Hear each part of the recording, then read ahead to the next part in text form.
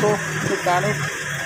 Kaya ngayon, ngayong umaga, check po natin ang ah, clutch. Primary clutch ng ano? Ah NB350 ulit. Pero iba naman to kaysa dito sa inadjust namin ng preno dati. Tingnan na po natin kasi masyado rin mataas. Namamatayan ng makina pag ah, nabibitin. Tingnan po natin hello guys. Ito po makikita natin to. Itong clutch nya ah grabe. Taas. Tukod na. Sobrang taas po nito. So itong clutch po ng uh, NB350 at ko muna yung makina kasi naingay ito po oh. so adjustment po nito nasa likod eh. Ito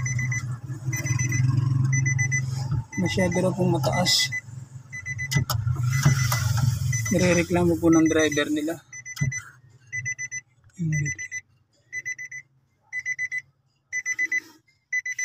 Taas.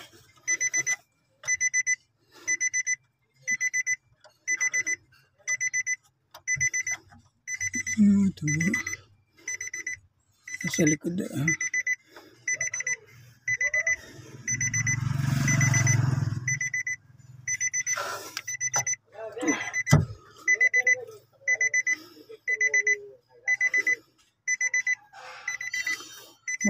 Ng bracket. Yung B350 po ito. So meron po siyang tornilyo dito sa likod. Assess na po ah, 12 mm.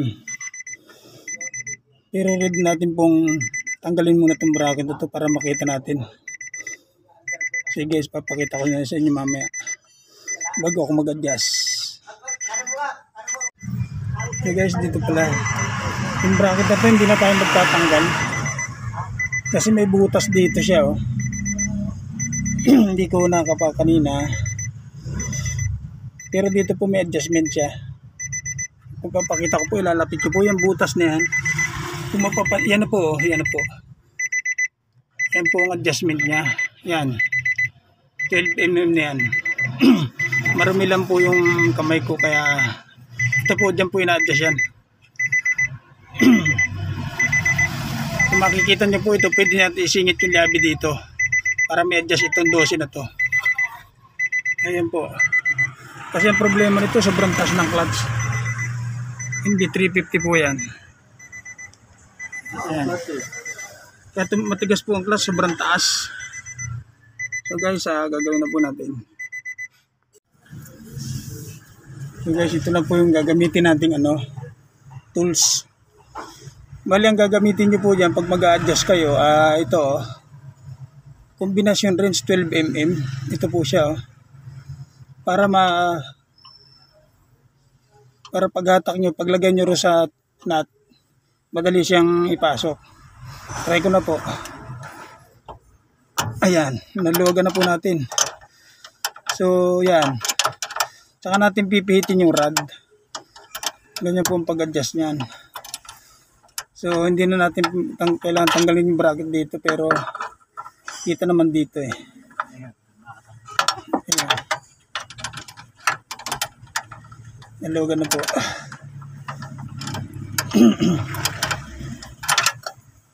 Tapos pagpababa naman po ang adjust niya, ang ikot ng rod, paka, ah, pakaliwa, pakaliwa, pakaliwa naman. Pakaliwa ang ikot ng rod para kumana siya bumaba. Yan po. Mamaya. May pag may system. So guys, na-adjust na po natin. Oh. Bumaba siya. So dito, may stopper din po siya. Yan ang bi- ina- binaba niya. Oh. Ito po, kasi kanina dati nakalapat yan dyan. So, ang gagawin po natin, yan, umangat na yan. Yung stopper niya, i-adjust din natin to. Luluwagan natin tong 14mm yan, niluwagan ko na.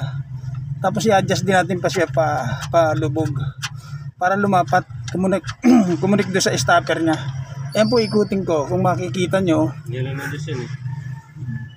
kung makikita nyo po i-adjust ng ito. Ganyan po ang pag-adjust niyan. Yan. Tapos, higpitan uli yung 14mm na nut.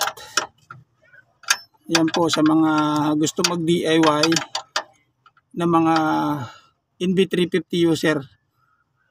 Nissan NB350. Yan, higpitan ko na po. Yan. Dapat kasi kumukunik pa rin yan dyan. Kahit bumaba, in-adjust ko na po yan. Tsaka yung taas, ang adjust nito, pag niluwagan nyo to, laging pakanan para paluwag siya. Kasi pag pakaliwa, lalo tataas ang adjustment nating clutch pedal. So guys, ah, ang gagawin po natin dito, ilalak na natin tong 12mm. Ako tita Yoshi. Ito, 12 ilalang, ilalak na natin. Hindi pwedeng hindi nakalak to kasi luluwag to. Ilalak niyan yan.